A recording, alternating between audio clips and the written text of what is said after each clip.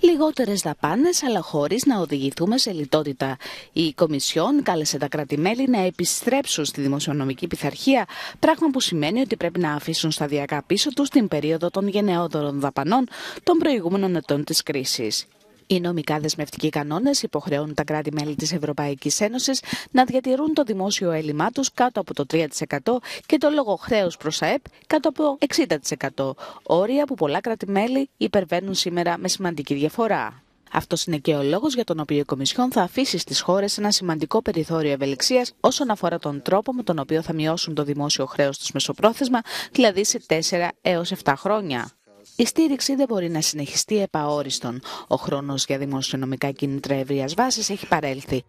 Την άνοιξη, η Κομισιόν θα δώσει σε κάθε χώρα ένα στόχο δαπανών για το 2024 σύμφωνα με τις προβλέψεις της.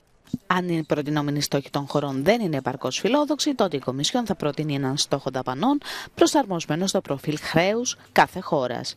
Επιπλέον, η Κομισιόν δεν θα ενεργοποιήσει φέτος τη διαδικασία υπερβολικού ελλείμματος που θα μπορούσε να οδηγήσει σε οικονομικές κυρώσεις για τις χώρες που παραβιάζουν τους κανόνες. Θα το πράξει το 2024.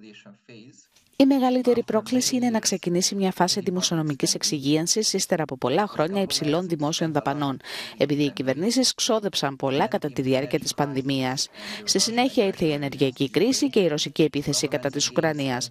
Οπότε οι κυβερνήσεις ξόδεψαν και πάλι πολλά για την άμυνα, αλλά και για την στήριξη των οικοκυριών και των επιχειρήσεων, ώστε να αντιμετωπίσουν τις υψηλές τιμές της ενέργειας.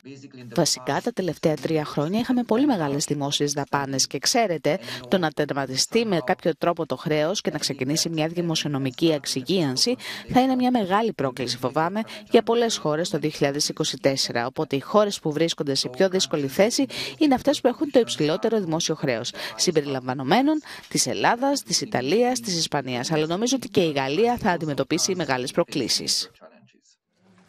Οι ηγέτες της Ευρωπαϊκής Ένωσης θα ξεκινήσουν τη συζήτηση για το νέο δημοσιονομικό πλαίσιο το Μάρτιο στις Βρυξέλλες και με βάση την έκβαση της μάχης μεταξύ του Νότου και του Βορρά της Ευρώπης, η Κομισιόν θα υποβάλει τελικά τη νομική της πρόταση για το πώς θα μεταρρυθμιστούν οι κανόνες.